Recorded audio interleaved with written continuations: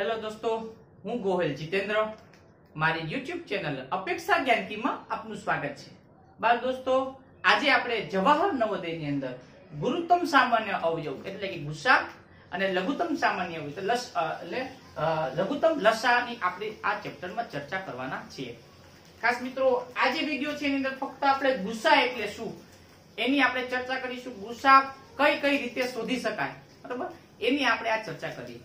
ખાસ કરીને બાળ દોસ્તો, તમે જો નોટ અને પેન સાથે ન રાખવી હોય, તો ખાસ સાથે રાખવી અને જે જે ઉદાહરણ હું કરાવું ને હોમવર્કમાં જે દાખલા આપું, એ ખાસ તમારે કરવાના અને મને કોમેન્ટમાં જવાબ પણ આપવાના, જેથી કરીને મને પણ ખ્યાલ રહે કે તમને કઈ જગ્યાએ તકલીફ પડે છે. કયા દાખલામાં તમને મુશ્કેલી આવે છે, એ મને જણાવતા રહેજો. ત્યારબાદ શરૂઆત કરીએ ગુસ્સા એટલે શું? તો ગુરુતમ સામાન્ય અવયવને આપણે શું કહેવામાં આવે છે? ગુસા ખાસ મિત્રો ગુસાની વાત કરવામાં આવે તો ગુસાની વ્યાખ્યા છે આપેલ સંખ્યાઓના સામાન્ય અવયવ. દાખલા તરીકે અહીં વાત કરીએ છીએ દસ અને પંદર નો ગુસા બરાબર? દસ અને પંદર નો ગુસા શોધવાનો હોય તો આપેલ સંખ્યાઓના સામાન્ય અવયવમાં જે અવયવ સૌથી મોટો હોય તે અવયવ એ આપેલ સંખ્યાનો ગુરુત્તમ સામાન્ય અવયવ છે. મિત્રો, આપણે ઉદાહરણ દ્વારા સમજીએ પણ દસ અને પંદર નો ગુસા શોધવાની વાત કરવામાં આવે, તો દસ ના અવયવ આપણે ખ્યાલ છે?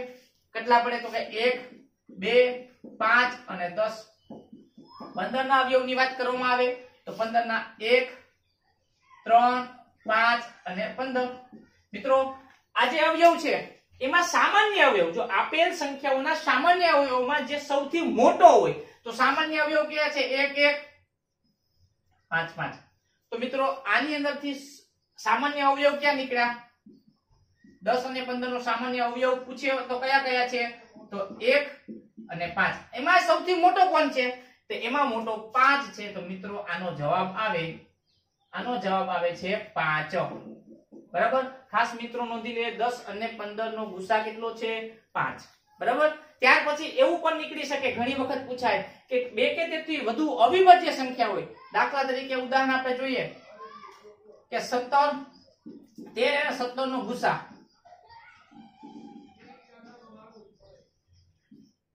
ગુસા અ, ખાલી જગ્યા છે. તો મિત્રો, ખાસ આપણે જઈએ અહીંયા કે તેર. તેર નો ગુસા કેટલો છે? તો કે એક અને તેર અવયવ કેટલા છે? તેર. સત્તર ના અવયવ કેટલા છે? એક અને સત્તર.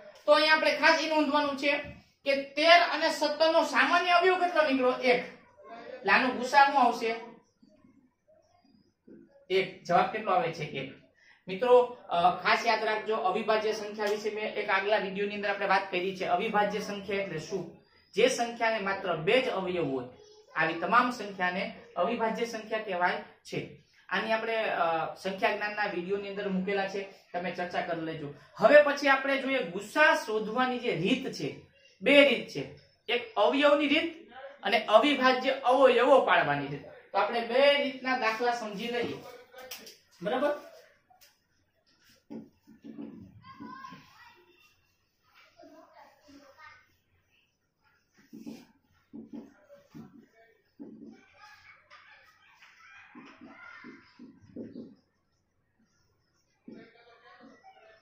પેલી રીત છે?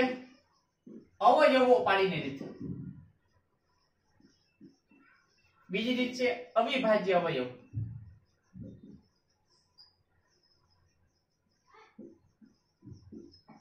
મિત્રો, ગુસ્સા શોધવા માટેની બે રીત છે.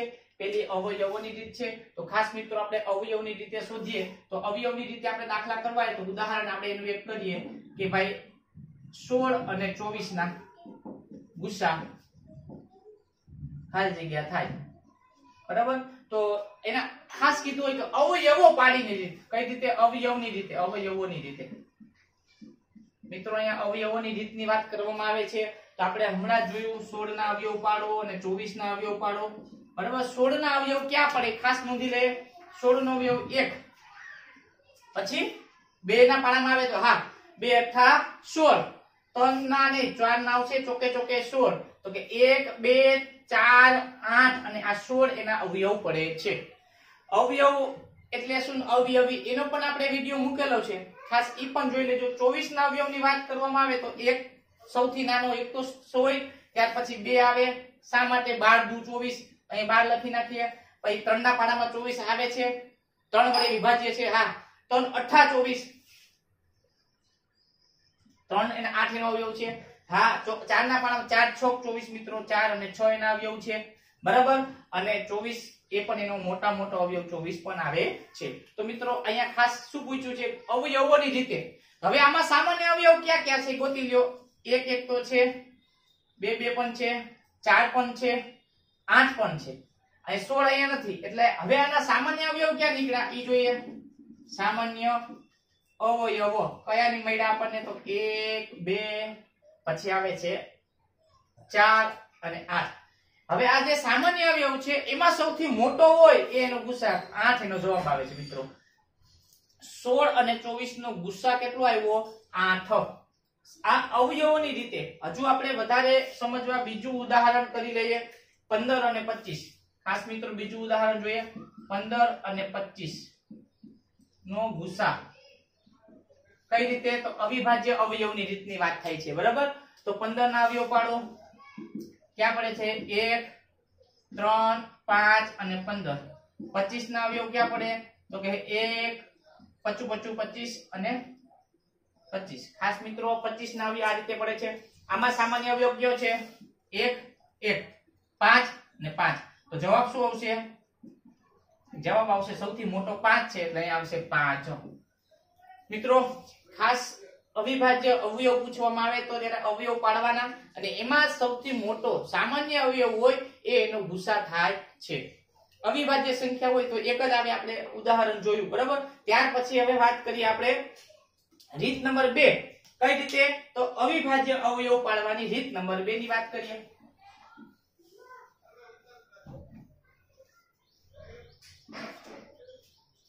રીત નંબર બે ની આપણે હવે ચર્ચા કરીએ છીએ અવિભાજ્ય અવયવ પાડવાની. બરાબર? તો પેલો રીત છે 36 36 અને 54 નો અવિભાજ્ય અવયવની રીતે ગુસ્સા શોધો. બરાબર? અવિભાજ્ય કીધા હોય તો એને હંમેશા યાદ રાખો 36 ના આપણે આવી રીતે અવયવ પાડવાના. બરાબર? અને 54 ના પણ આ રીતે આપણે અવયવ પાડવાના થશે, બરાબર? 36 અને 54 ના રીતે અવયવ પાડીએ. બે નો બે વડે વિભાજ્ય છે તો હા બેકી સંખ્યા છે. 36 18 દુ 36 બે નવ અઢાર, ત્રણ તેરી નવ, ત્રણ એકા ત્રણ. અહીંયા છત્રીસ ના અવયવ કેટલા પડ્યા લખી લે? બે બે ગુણ્યા બે ગુણ્યા ત્રણ ગુણ્યા ત્રણ. આ છત્રીસ ના અવયવ પડ્યા? હવે આપણે શું કરીએ? ચોપન ના અવયવ લખી નાખીએ. બે વડે વિભાજ્ય છો હા, બે, સત્યાવીસ દુ ચોપન થાય, આપણને ખ્યાલ છે. ત્યાર પછી સત્યાવીસ કેવી સંખ્યા છે? એકી સંખ્યા છે, એટલે બે વડે નથી, પણ ત્રણ નવા સત્યાવીસ, ત્રણ તેરી નવ, ત્રણ એકા ત્રણ. હવે આપણે સત્યાવીસ ના અવયવ લખી નાખીએ અહીંયા. બે ગુણ્યા ત્રણ ગુણ્યા ત્રણ ગુણ્યા ત્રણ. મિત્રો, ખાસ જોજો અવયવોની રીત એમાં અવયવ પાડીએ છીએ, એમાં સામાન્ય લીધા અને સૌથી મોટી સંખ્યા લીધી. આની અંદર આપણે શું કરવાનો? અવિભાજ્ય અવયવ પાડ્યા. એમાં જે કોમન સંખ્યા ગોતી લ્યો, બે બે છે, હા. બે અહીંયા છે અહીંયા નથી. ત્રણ છે અહીંયા, હા, એક તગડો, આ બીજો તગડો. અહીંયા ત્રણ અહીંયા ત્રણ. તો બે અહીંયા છે, પણ અહીંયા બગડો નથી, બીજી વખત. અહીંયા તગડો ત્રણ વખત હતો, અહીંયા બે જ વખત હતો. જે સામાન્ય લીધા, કયા સામાન્ય આવ્યા? બે ગુણ્યા ત્રણ ગુણ્યા ત્રણ. આ ત્રણેયનો આપણે ગુણાકાર કરવાના. ત્રણ તેરી નવ નવ દુ અઢાર. આનો અવયવ કેટલો આવ્યો? ગુસા કેટલો આવ્યો છે? અઢાર. આનો ગુસા થાય છે. આ ત્રણેય સંખ્યાનો આપણે શું કરવાનું છે? ગુણાકાર. યાદ રાખજો બાળ દોસ્તો, અવિભાજ્ય અવયવ કીધા છે, તો એના અવયવ પાડી, એને જે સંખ્યા સામાન્ય મળી છે, એનો આપણે ગુણાકાર કરીએ છીએ. બરાબર? ત્રણ તેરી નવ નવ દુ અઢાર. ત્યાર પછી આપણે બીજું દાખલા ઉદાહરણ તરીકે કરીએ. ઉદાહરણ બીજું કરીએ. કે ચુમ્માલીસ